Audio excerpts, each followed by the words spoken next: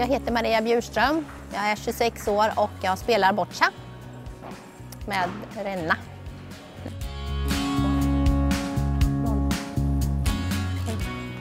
Eh, Maria säger att hon hittade sporten 05 på Göteborg Open. Det är ju en jättestor tävling för funktionsnedsatta som en rekryteringstävling. Så hon hittade sporten där.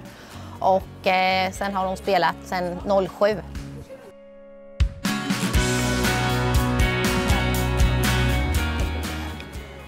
Maria säger att även om man har en grav funktionsnedsättning så är det här en sport som eh, man kan få tävla och komma ut och spela i hela världen.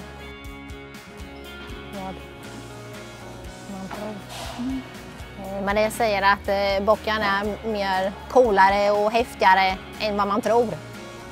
Varje boll har ett syfte.